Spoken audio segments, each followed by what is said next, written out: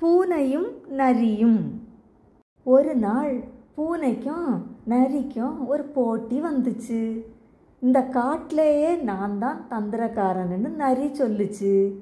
இல்லை இல்லை நான் தான் தந்திரக்காரன்னு பூனை சொல்லுச்சு. உடனே ரெண்டும் சேர்ந்து ஒரு போட்டி நடத்தி யார் நல்ல தந்திரக்காரன்னு முடிவு பண்ணலாம்னு நினச்சிச்சுங்க. அதுக்காக வேட்டைக்காரர்கள் அதிகம் உலாவுற காட்டு பகுதிக்கு ரெண்டும் போச்சுங்க.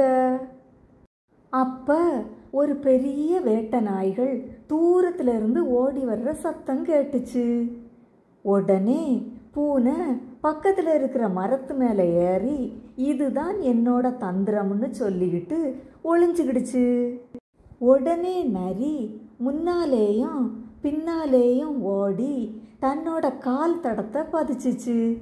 அதனால் நரி எந்த பக்கம் போயிருக்குன்னு வேட்டை நாய்களுக்கு தெரியாதுன்னு நரி தந்திரம் பண்ணுச்சு. ஆனால் அதுக்குள்ள வேட்டை நாய்கள் அங்கே வந்து நரியை பிடிச்சு வேட்டைக்காரர்கள்கிட்ட கொடுத்துச்சு. தற்பெருமை பேசின நரி துரிதமாக செயல்படாமல் போனதால் வீணாக வேட்டைக்காரர்கள்கிட்ட மாட்டிக்கிடுச்சு. இதனோட நீதி என்னன்னா தந்திரத்தை விட பொது அறிவு எப்போதும் மதிப்புக்குரியது.